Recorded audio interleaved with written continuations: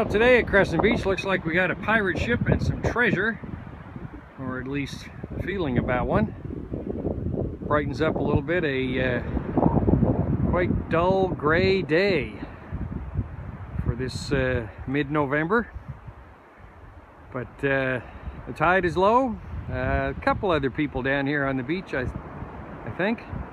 But uh, otherwise, Tilly and I have the place pretty much to ourselves little bit of sun trying to peek through over on the west side. So a little bit of everything today. Right, Tilly?